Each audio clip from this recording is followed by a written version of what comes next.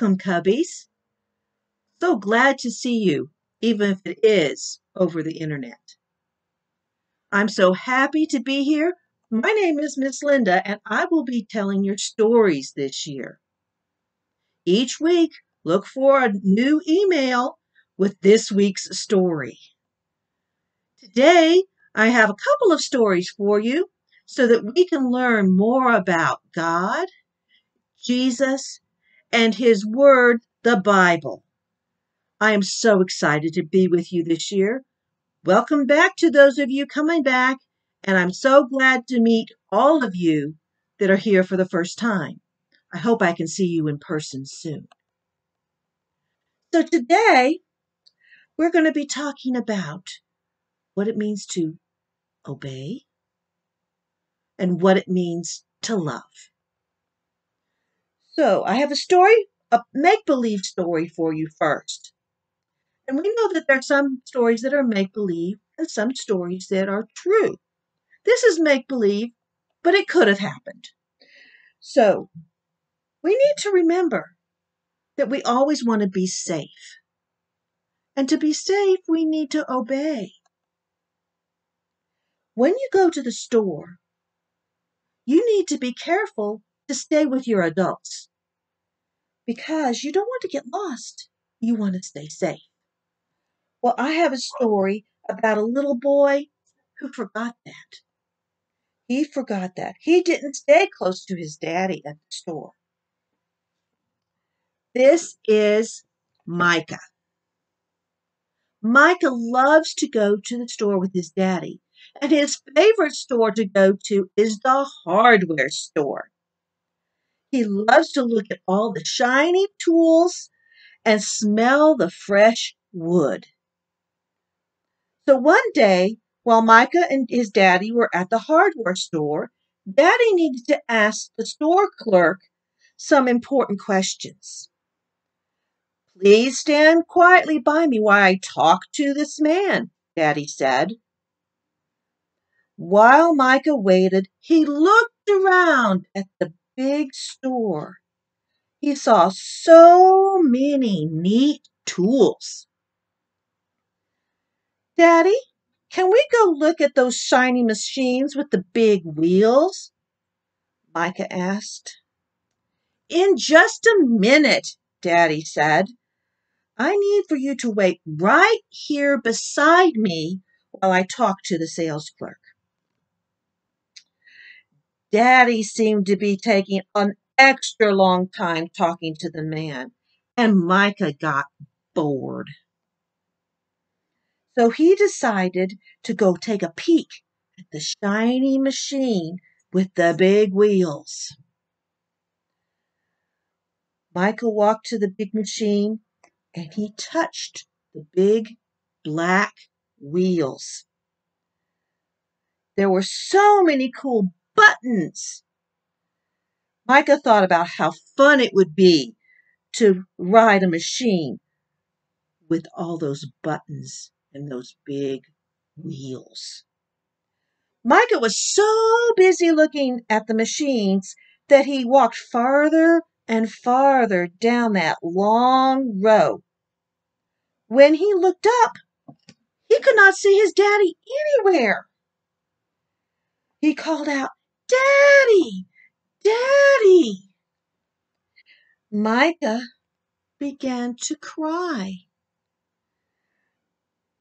He knew he should have obeyed and stayed next to Daddy. All of a sudden, Micah stopped crying. He heard his name. He turned around and saw his daddy. There you are, Daddy called. Micah ran to his daddy and gave him a big hug. Cubbies, do you know that we are just like Micah? Just like Micah disobeyed his daddy, we sometimes disobey too. In the Bible, God tells us to obey our parents.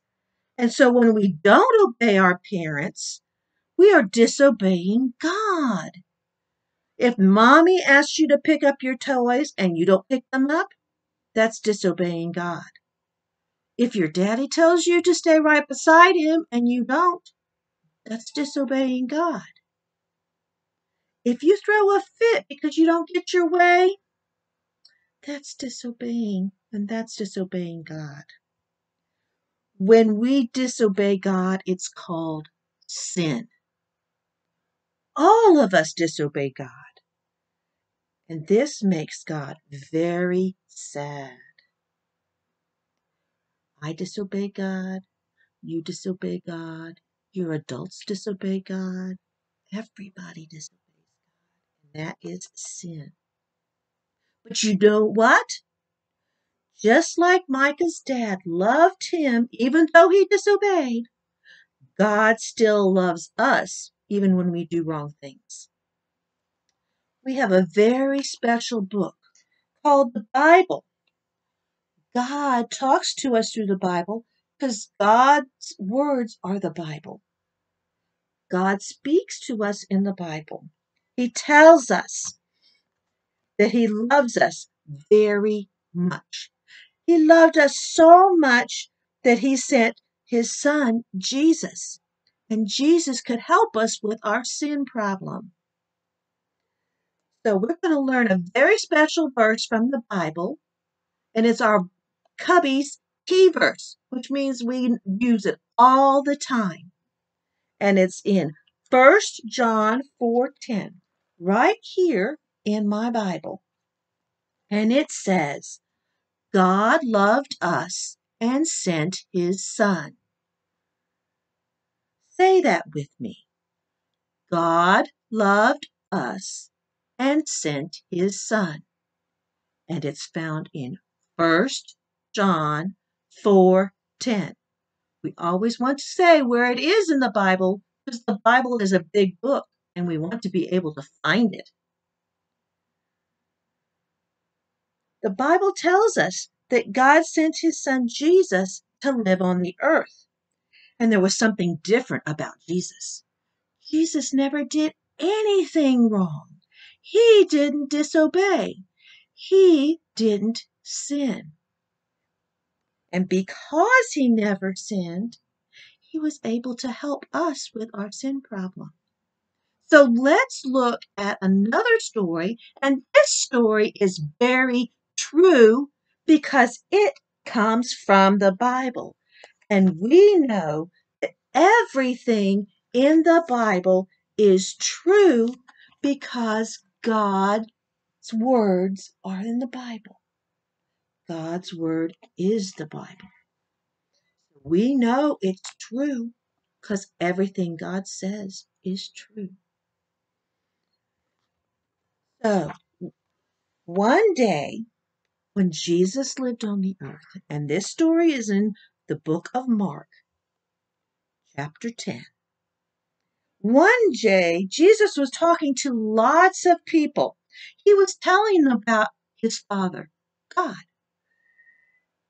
And the crowd, there were grandmas and grandpas, and mommies and daddies, and even some boys and girls. And they were all listening to Jesus talk. The moms and dads wanted Jesus to pray for their children. They also wanted their children to learn all about what Jesus was saying. So they kept moving closer and closer and closer to Jesus.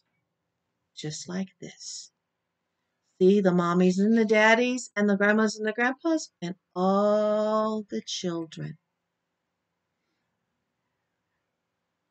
Can you imagine being that close to Jesus and all the things he was doing and saying? That would be really exciting. And I'm sure that the children were very excited to be with Jesus.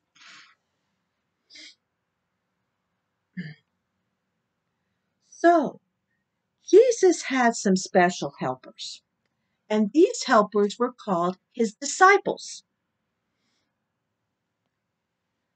Can you say that with me?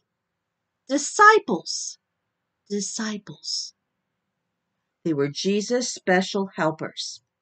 the disciples didn't want the children to get near to Jesus. They told the children to stop. They said, You can't come any closer to Jesus today. How very sad. The children really wanted to see Jesus, and they had to turn around and go away. The children probably felt very sad. Make a sad face.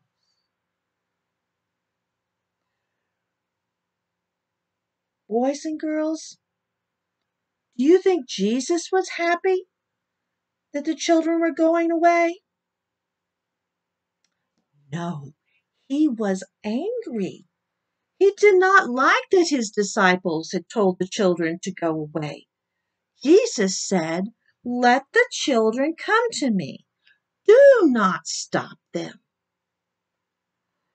All the children walked happily toward Jesus. See the ch- children with Jesus? Jesus loved them. He even held them on his lap. Jesus prayed for each one of the boys and girls that day. Cubbies, Jesus loved the children. And Jesus loves each one of us too. Our Cubbies motto reminds us of that. It says, Jesus loves me. Say that with me. Jesus loves me. And guess what? Jesus also liked the way the little ch- children came to him and they trusted him. They loved him. We can trust Jesus that, that he loves us and that he can be our savior because he died on the cross and then he rose again to pay for all of our sins. All those times we do things that are wrong. And people, Jesus said, people who trust in him can go and has his, as their savior, because God sent the savior, that we can go and be with him in heaven someday. And that will be a glorious thing. And we would be with Jesus always in this perfect, wonderful place. Because Jesus loved us so much that he had he came to earth to solve our sin problem. So let's remember, cubbies, that Jesus loves us. Our cubby motto, Jesus loves me. And that God loves us so much that he sent Jesus to be our Savior. And that we are reminded of that in 1 John 4:10, our cubby's verse. God loved us and sent his son. Now, when we're in person, we I always remind us that when we pray, we need to fold our hands and close our eyes so that we don't get distracted. So I want to pray for us now. So would you bow your heads and close your eyes and fold your hands so that we can talk to God? Dear God, thank you for this opportunity to come and hear stories from your Bible that teach us about Jesus and God and your love for us.